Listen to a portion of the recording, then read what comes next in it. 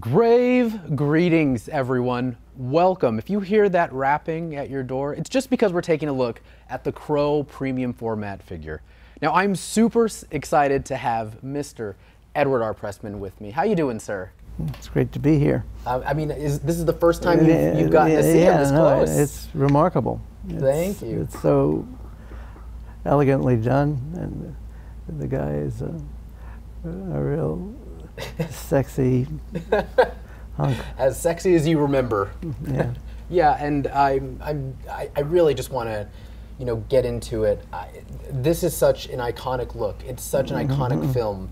When, you know, if you can remember going back to the days of starting this, did you have any idea, any inkling that it was going to be such a cult classic? No, but I remember uh, being introduced to the comic, and then uh, after a, a bit of a journey, we met Alex Proyas, Right. and uh, he was the key at the time Wow. to seeing w- what could happen. We never expected it to, to last as it has, Yeah. but uh, the- you know, the, the original format was designed, you know, by Proyas and Mhm. by uh, Andrew Mason, who was his uh, Australian like effects designer, Oh, okay. who's gone on to do uh, Matrix and other Oh, wow. great things, and Alex has gone on to many things. And Big, big fan of trench coats in all those films. Yeah. yeah, yeah. I'm, um, you know, I'm, I'm interested because you you bring up the the comic. Um, again, the comic being released in 1989, and with the film uh, coming out in 1994, I'm curious if if there was a lot of uh, research time in the middle between 1989 and 1994 when the film was actually uh, released. Films take sometimes a long time Yeah. to, to uh, be put together and financed and designed. And The Crow, at the time, seemed very daring, original, and uh, Right. so dark.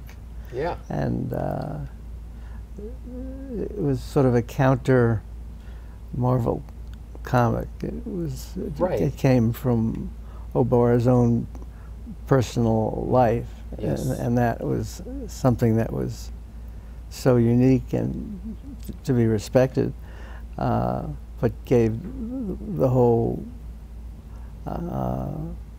property uh, depth and uh, Some significance realism. Yeah. because it came Yeah. it came from O'Barr's passion. And so I'm, I'm curious, uh, you know, if we could step away from the crow for just a second. Sure. You know, you know, growing up, you know, you went into a uh, clearly. I mean, you've had such a, such a successful career. Uh, you know, where did that sort of spark come from to lead you into such a creative medium in filmmaking? Where you, is that from child? Did you know immediately from childhood that you wanted to go into filmmaking and producing films? Uh, no, I think I wanted to be a baseball player, but, uh, It's never too late. yeah.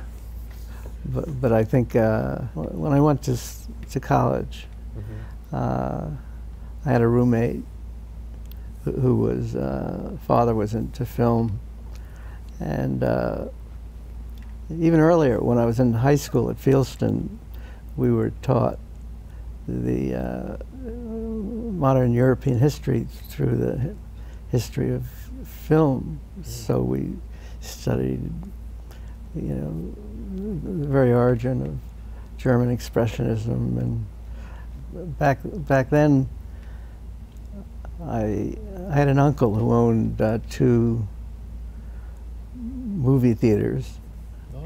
In in in uh, uh, the Bronx, and I used to s- sell popcorn, and it was double features, so I'd see f- four films a, Oh, wow. a day. So I loved film, but it seemed so remote and not, you know, possible. Uh, when I met uh, my roommate in, in in school, and he he was serious. We never actually made anything back then, but soon after that, in graduate school, I, I, was at London School of Economics and met Paul Williams, who, who became my partner, and we did Badlands and the early De Palma films, Phantom of the Paradise and Sisters. Uh, and then we split up, and I went on on my own. But I've always had a a fondness for the, the, the genre. Right. Now, Ed, it's, it's come to my understanding that your your family does, you know, we are a collectible company. You, you guys come from toys as well. Right. So, You know, my father started a Pressman toy in, uh, the, er, you know, mid 30s, 1930s, and uh, he the company grew. He was called the Marble King Marvel King. because during the Second World War, uh, it, was, it, was, it was very tough to get marbles, for, for the, and marbles were a very popular plaything Right. at the time.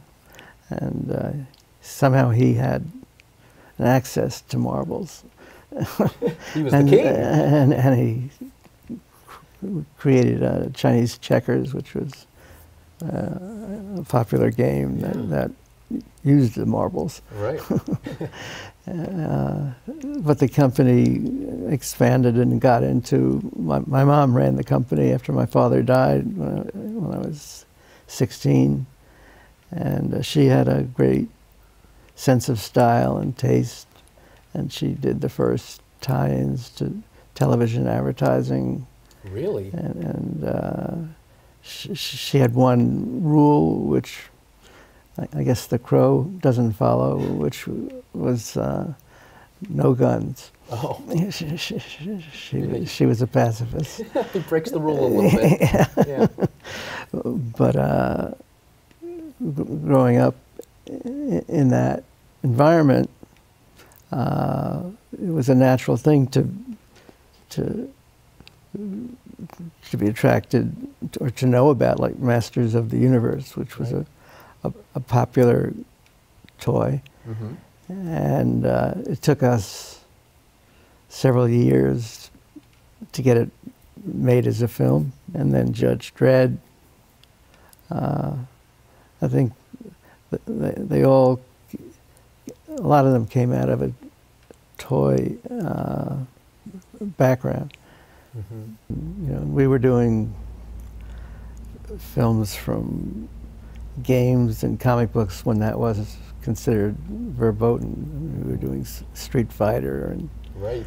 uh, films like that where uh, th- th- there were unusual sources at the time. Now Yeah, it's I- become, Now it's everywhere. yeah.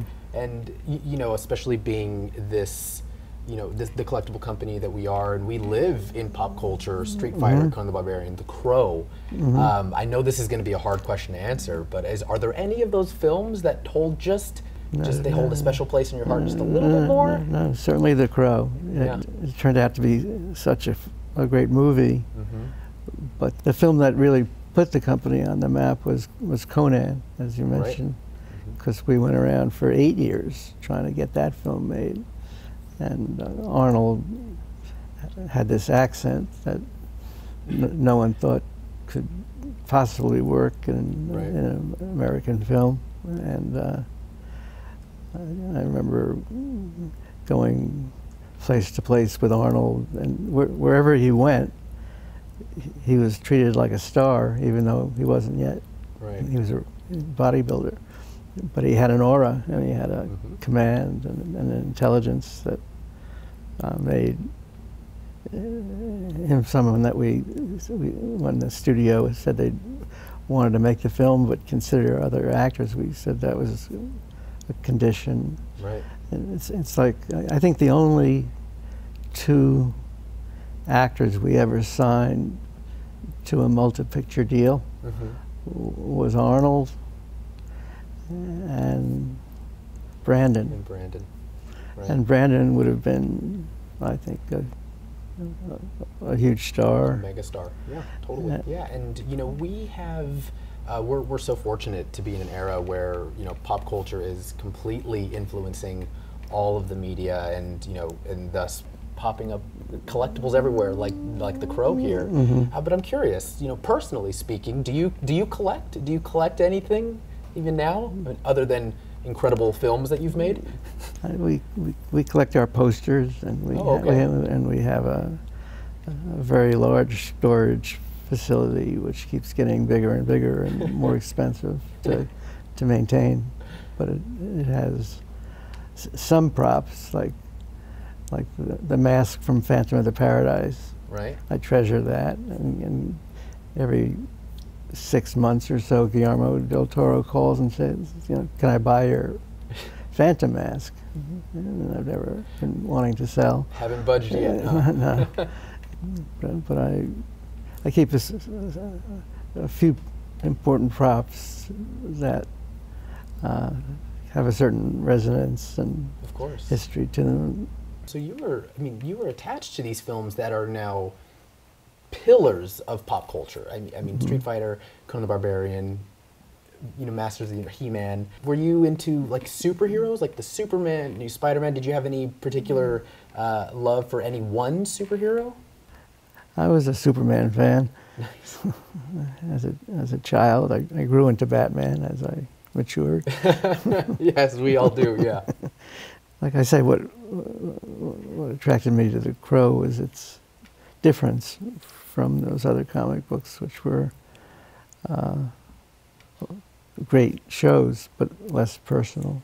I just I love this piece so much, and, I, and I know uh, yourself and, and your team that are sitting back here. You guys Yeah. saw it and you loved it. I mean, What's so unique to me is the the, the quality of the workmanship, even on the, the clothing down Yeah. to the most minute detail, and obviously the that that face. If you look at the back, it, Yeah. the, the workmanship is Mhm. is detailed all the way.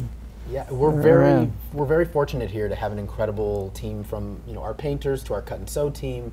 I believe it was uh, Esther Skandunis who worked on this piece. Um, again, we're just really really fortunate to have it. And you know before and you're you're still increasingly busy. I mean, you were yeah, he was answering emails right up until we went uh, live here. That's how right. the work ethic. I uh, but I have to know, it, it, does it ever get you know, does it ever get normal seeing, you know, however many years, 20 years later, still seeing collectibles made of this film that, you know, you maybe had an idea that it was going to be this cult classic, but you were just. no. When I walked making in to, to the studio and and saw this, it, astonished me because I've, I've seen models, Yeah. but this tops them all. Oh, well, thank you so much. And, and thank you so much for joining us, Ed. I, I really appreciate you taking the time out of your busy schedule. Um, again, all of you, uh, wherever you are, you can go to side.show forward slash The Crow. You can get yours. Uh, go watch The Crow all the time. Watch it always. it's such a great film. Um, thank you guys all so much for watching. And don't forget to let your geek side show. Be sure to subscribe by hitting the S icon on your screen and click the bell icon to be notified whenever a new video is posted. If you'd like more info on the items featured in this video, click the link provided under product info. Thanks for watching, and don't forget to let your geek side show.